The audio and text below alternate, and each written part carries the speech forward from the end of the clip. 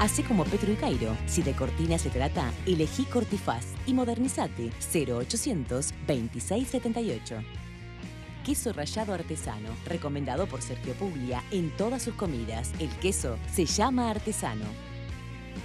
Presenta Helpline, el botón que puede salvar vidas. Helpline, seguridad para el adulto mayor. Empanadas de la Ribera cumplió 15 años. Empanadas de la Ribera, el gusto sano de la empanada horneada.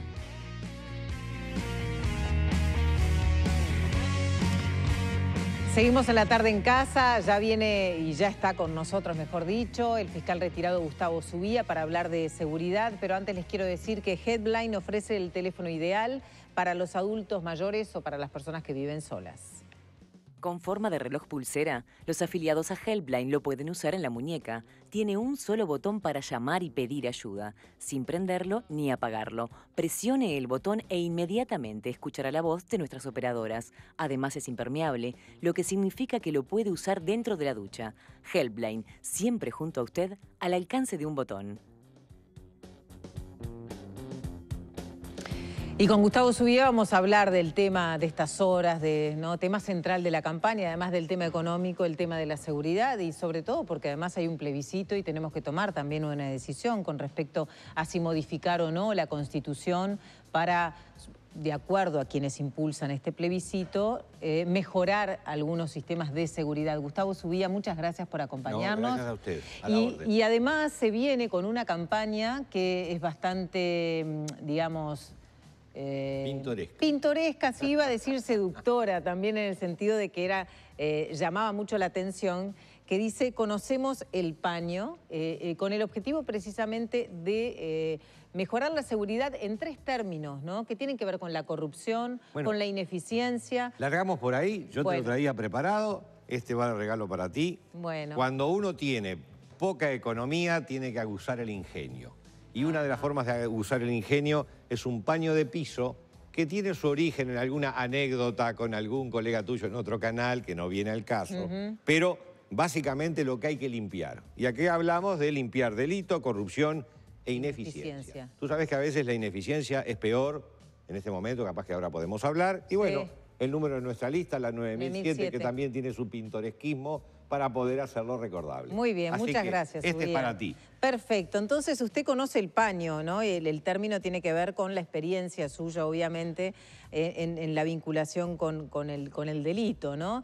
Ahora, eh, delito, corrupción, ineficiencia, ¿por qué están vinculados o cómo de alguna manera se retroalimentan estas cuestiones? Mira, en, los, en estos últimos días yo estoy observando que en los términos de la campaña, en una forma u otra, por el tema seguridad, empiezo a observar que todos los candidatos de alguna forma empiezan a tener una concepción más represiva.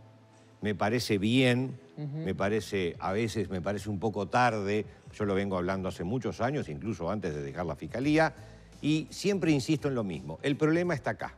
El problema es o filosófico o ideológico o de pensamiento, como tú quieras llamarle. Como pueblo, como poder legislativo sobre todo, como poder ejecutivo, no hemos tenido frente al delincuente una posición clara. Nuestra posición ha sido muchas veces de gran comprensión del delincuente y del delito. Y hemos esto, por supuesto, en estos últimos dos años con el Código de Proceso Penal, hizo un incendio en el Uruguay, pero ya había concepciones que años antes iban abriendo con puertas y no lo supimos enfrentar. Y el delito es como la enfermedad. Lo tenés que enfrentar, a veces incluso con alguna injusticia. Y ahora te lo explico por qué. Porque la concepción, sobre todo de la izquierda, ha insistido en que el responsable de los delitos es la propia sociedad. Que la falta de inclusión, que la falta de educación, que la falta de controles también, provoca que crezca el campo fértil para el delincuente. Y hay un porcentaje, y hay un porcentaje, y yo lo acepto, de razón en esos dichos. Un porcentaje. ¿Qué pasa? Ese porcentaje que yo lo ubico con mi experiencia de 40 años casi de fiscal, que yo lo ubicaría en un 5% de casos donde efectivamente una familia disfuncional, un Estado completamente ausente, provoca determinadas situaciones que salen individuos, muchas veces incluso con un perfil psicopático. ¿No? Pero hay otro enorme porcentaje, y ahí viene el dolor que yo todos estos años vengo sintiendo. Hay un enorme porcentaje que te lo digo en coloquial, son vivos. Está lleno el Uruguay de personas que aprovechan la coyuntura, muchas veces abogando o diciendo, bueno, yo soy, ellos mismos, yo he tenido delincuentes que ellos mismos, el primer speech es, bueno, la culpa es de la sociedad, que no me dio esto, que no me dio lo otro, bueno, un gran porcentaje de vivos que no solamente hacen al delito de calle, hacen al delito de clase media y al delito de clase alta, que tampoco se persigue en serio en el Uruguay. Por, por favor. Entonces, lo que yo postulo mm. es, tenemos no que severizar, sino que cumplir con normas que están y que se, les ha quitado contenido. Por eso, y en ese sentido es que cuando habla de mayor represión, ¿no? Es una palabra que, que cuesta también asumir porque muchas veces viene obviamente acompañado del abuso de poder o de la comisión de actos injustos. ¿No? Bueno, eh, ¿En qué sentido este, se enmarca la mayor represión para usted? ¿Qué debería suceder? Ciertos ejemplos a veces clarifican las cosas. Nosotros tenemos que el delito de rapiña, que a mi juicio es el más execrable de los delitos, por supuesto que hay delitos sexuales que motivan mucho más a las personas a la repugnancia, pero el de, el de rapiña es, está a esto del homicidio, porque la persona va armada, porque está deteriorando incluso el pequeño comerciante. Yo he tenido casos de gente que cierra su negocio después de haber tenido 20, 30, 40, bueno, terrible. Ese delito de rapiña tiene una mínima de cuatro años de acuerdo al Código Penal. Y en general se cumplía con una pena severa, importante, que puede llegar incluso a los 16 años. ¿Qué pasó? Con estas nuevas modificaciones que hicieron del Código de Proceso Penal, el delincuente, que es habido en un 3% de los casos, tú sabes que cada 100 delitos mm. se descubren 3%. 100 delitos denunciados, los cometidos son muchísimos más. Entonces, agarrás tan poquito y lo poquito que agarrás, que se le debería de haber aplicado ese cuatro años de mínima, hoy hay mecanismos para que el delincuente pueda cumplir muchísimo menos en prisión y tenga libertades y beneficios escarcelatorios a granel. Entonces, ¿qué le sucede al delincuente? El delincuente, que como te decía hoy, en un 95% no es nada bobo, hay un, un 5, un 8% de delincuentes que están ellos mismos los dicen, fisurados, que son los primeros que caen además. El delincuente que no es para nada bobo siente en su piel rápidamente esos beneficios.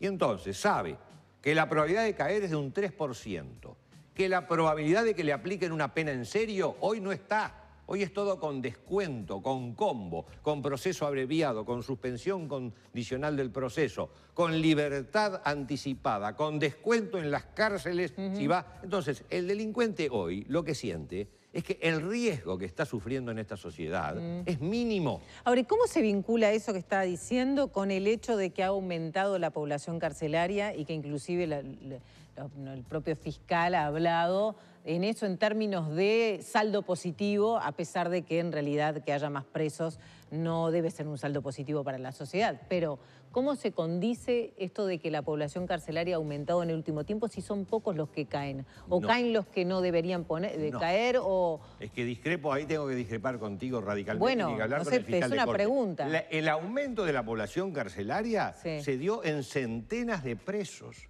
Estábamos en 2017 sobre la base de 10.000 y pico de presos y hoy estamos en 11.000 y poco.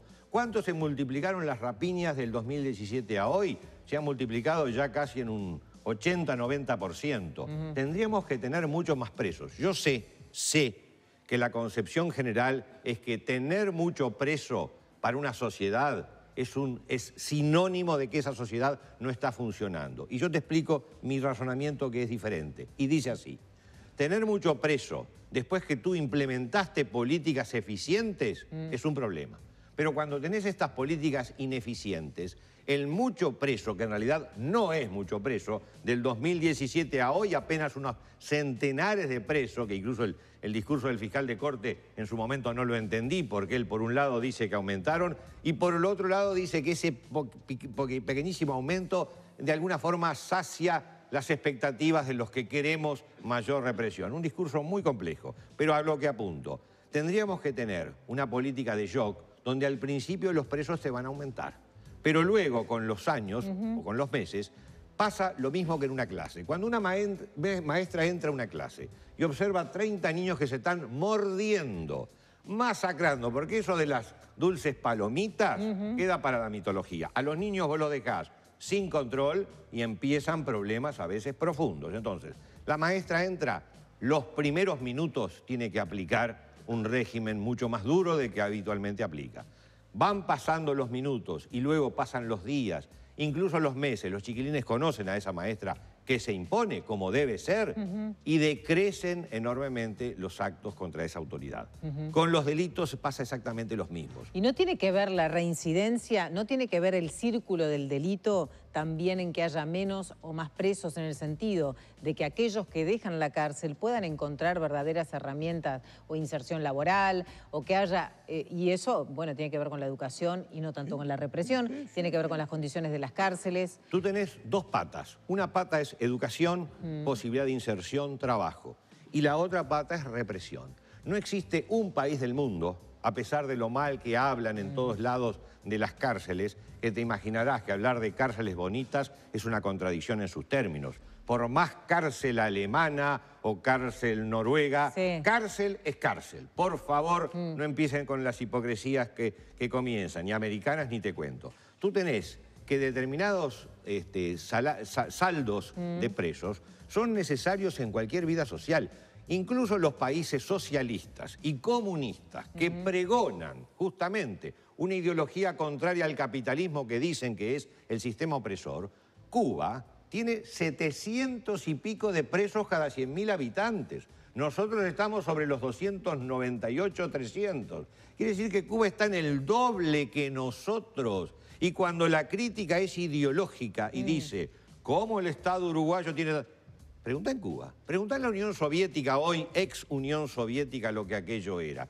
Quiere decir que no existe sistema donde no, no deba de existir la represión. Lo ideal es que la educación, como sucede en muchos países escandinavos, la educación, la inclusión social y, lo que no se dice, la represión desde los primeros niveles. Tú anda a Noruega a tirar papeles, a vaciar un contenedor de basura, como acá te vacían, o a dormir en la calle.